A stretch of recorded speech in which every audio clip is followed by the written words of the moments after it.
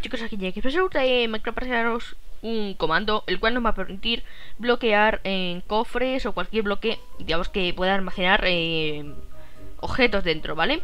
Y bueno, en este caso vamos a hacer que se haga de día, que siempre es más bonito.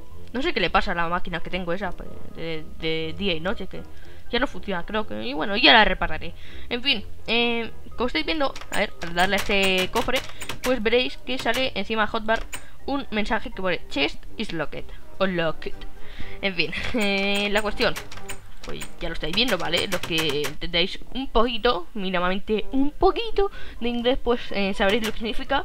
Bueno, pues eso, ¿no? O sea, está bloqueado el cofre y la única manera que tenemos de abrirlo es con una llave, la cual en este caso se llama Raiden. ¿Veis? Si le doy con esta llave, pues... Y bueno, pues diréis, ah, bueno, esto significa que eso lo puedes abrir, o sea, no lo puedes abrir con la mano, pero con cualquier otro objeto sí.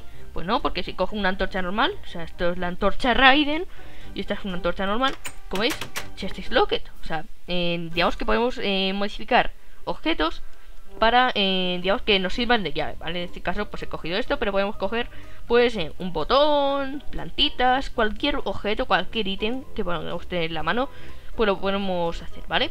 Así que voy a proceder a explicaros de qué va esto. Bueno, básicamente tenemos aquí un comando que se llama barra block data, que es el comando en sí, ¿no?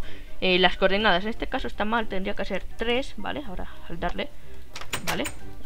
Bueno, block data, las coordenadas ya pueden ser relativas o del bloque exacto donde están. Y, eh, digamos, ponemos este simbolito que no sé cuál es, son las, los corchetes, creo que se llaman o algo así. En fin, eh, log, respetando las mayúsculas y minúsculas, dos puntos y, eh, digamos, el nombre que le queramos poner al objeto, ¿vale? En este caso, pues antes eh, abierto esto con una antorcha que se llama Raiden, pues ahora pues le puedo llamar eh, JC9, como Johnny Creeper 9. Voy a ponerlo en mayúsculas, que queda mejor, JC9, ¿vale? Y ahora, pues, eh, por ejemplo, vamos a modificar mismamente, como es JC9, como es Johnny Creeper 9, pues vamos a modificar un, una cabecita de Creeper, ¿vale? Así que le llamamos JC9, eh, respetando siempre mayúsculas y minúsculas. Y bueno, pues le doy aquí y... Eh, vale, a ver, le tengo que dar al botón, perdón, ahí, para que se ejecute el comando.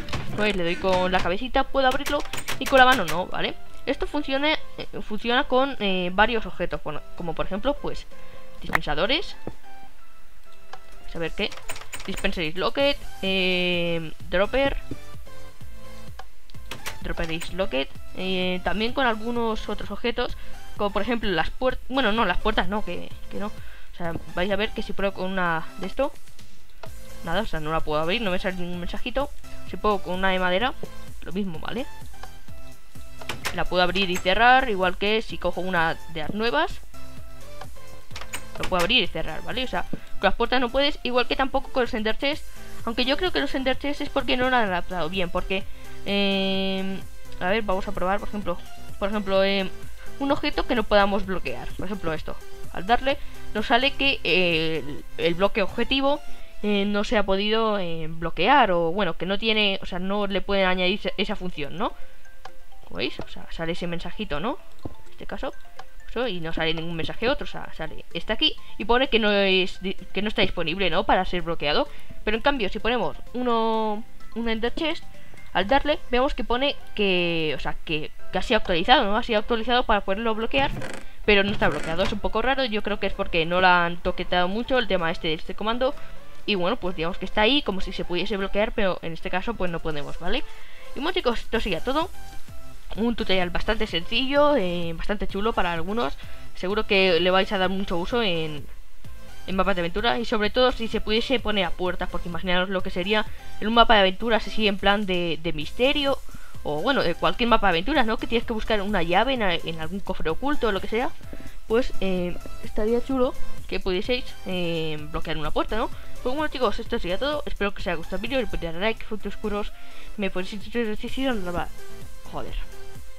Siempre me voy a cabrear cuando me despido, pero bueno, eh, yo me despido así, así de mal. Y chicos, eh, aquí me despido, ya está el sitio, adiós.